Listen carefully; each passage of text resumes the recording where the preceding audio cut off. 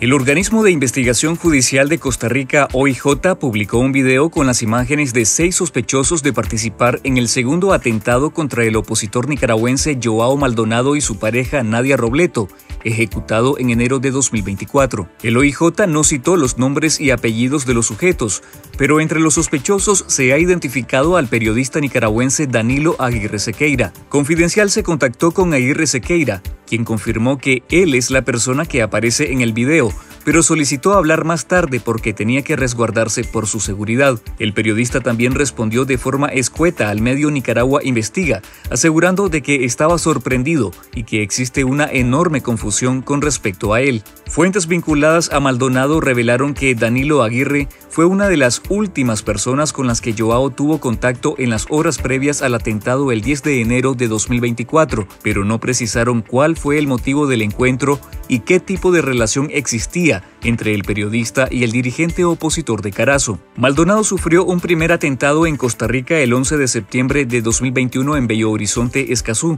Ambos ataques en los que sufrió graves heridas por armas de fuego no han sido esclarecidos por las autoridades. El OIJ divulgó los videos de los sospechosos del segundo atentado y llamó a la ciudadanía a reportar información sobre los señalados. El régimen de Daniel Ortega ha purgado a 16 alcaldes y 3 vicealcaldes sandinistas desde que fueron juramentados en enero de 2023, tras la farsa electoral municipal de noviembre de 2022, cuando impusieron un control absoluto en las 153 alcaldías del país. Solo en 2024, el régimen ha removido a 11 alcaldes y 3 vicealcaldes, cinco de ellos de la región autónoma de la costa caribe norte, cuatro del departamento de Rivas, dos de Nueva Segovia, uno en el departamento de Managua y otro en Chontales. Todos habrían fallado en las pruebas de lealtad y obediencia al gobernante Frente Sandinista y fueron en medio de señalamientos de corrupción, nepotismo y pugnas políticas internas, otros pocos también alegando supuestos problemas de salud. La directora de redes del Observatorio Ciudadano Urnas Abiertas, Ivania Álvarez, sostiene que la corrupción no es la verdadera razón detrás de las destituciones, sino el cumplimiento de la lealtad al Frente Sandinista.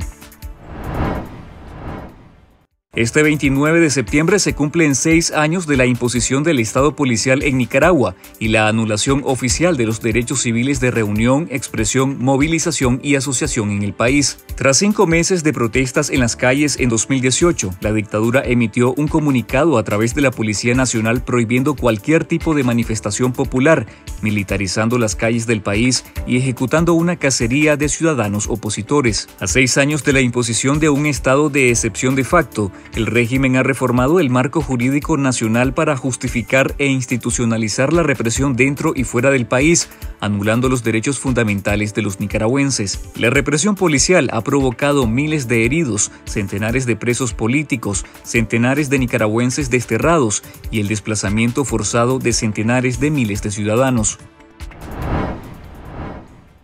La dictadura prohibió el ingreso al país al youtuber nicaragüense Francisco Javier Reyes Rosas cuando regresaba de un viaje desde España el 27 de agosto de 2024. El creador de contenido confirmó la noticia esta semana a través de un video desde Estados Unidos donde quedó varado. El youtuber con casi 140 mil suscriptores en YouTube explicó que las autoridades le negaron su ingreso a Nicaragua por haber acompañado al bloguero venezolano Oscar Alejandro Pérez, quien durante su visita a Nicaragua dedicó uno de sus videos para criticar el estado policial y la falta de libertades en el país. El contenido del youtuber nicaragüense se caracteriza por mostrar destinos turísticos y curiosidades del país. En el video que confirma su destierro de facto, el bloguero nicaragüense reiteró que no ha cometido ningún delito. ¿He cometido algún delito? Pues no, ninguno. Grabar en Nicaragua es un delito. Ser objetivo es un delito. Opinar de X o Y cosas es un delito. No, ¿verdad? Yo les, invito a que vean mi video y díganme si ustedes encuentran algo malo extraoficialmente es que deduje por qué no puedo regresar a Nicaragua, por qué no lo permiten, por haber tenido contacto con Oscar Alejandro y por el tipo de contenido que yo grabo.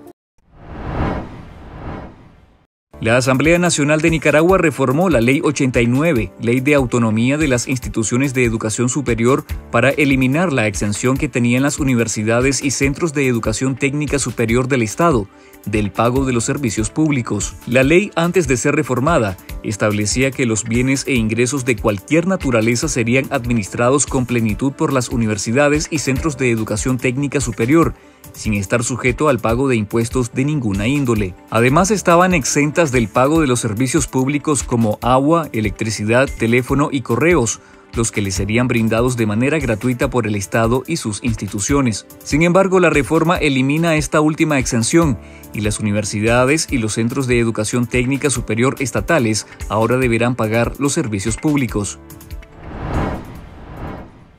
El Parlamento Centroamericano Parlacén aprobó la incorporación de la Duma Estatal y el Consejo Federal de la Federación de Rusia como Estado observador permanente, una iniciativa liderada por la dictadura de Daniel Ortega. La decisión de incluir a Rusia como Estado observador en el Parlacén fue aprobada por una mayoría de diputados de Honduras, Nicaragua, Panamá y República Dominicana.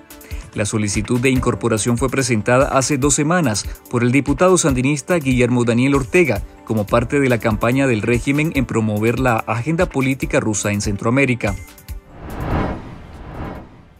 El expresidente y candidato republicano a la Casa Blanca, Donald Trump, prometió eliminar el programa Parol Humanitario para migrantes provenientes de Nicaragua, Cuba, Venezuela y Haití en caso de ganar las elecciones presidenciales de noviembre próximo. En una entrevista con la cadena Fox News, el republicano amenazó a los migrantes diciendo que se preparen para irse, especialmente si eran criminales. El Parol Humanitario es un programa que concede la entrada a Estados Unidos a migrantes patrocinados por un ciudadano residente en ese país que tenga un estatus legal y demuestre tener suficientes ingresos para apoyar financieramente al beneficiario del programa. También les conceden un permiso temporal de trabajo por dos años. A pesar de que las personas beneficiadas con el parol cuentan con un estatus legal para estar en Estados Unidos, Donald Trump los calificó de inmigrantes ilegales que no deberían estar en el país. Trump ha puesto la migración en el centro de la campaña de las elecciones presidenciales y ha intensificado su retórica anti-inmigrante.